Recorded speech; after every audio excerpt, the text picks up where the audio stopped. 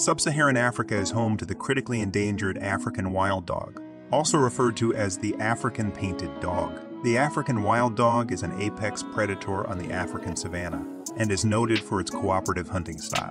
They use a pack dynamic and extraordinary stamina and agility to seek and catch their prey. Together, they use complex collaboration and communication to corner and exhaust their prey, frequently having a high success rate in their hunts. African wild dogs are exceptionally effective and powerful hunters in their ecosystem due to their distinctive hunting habits and their speed and stamina.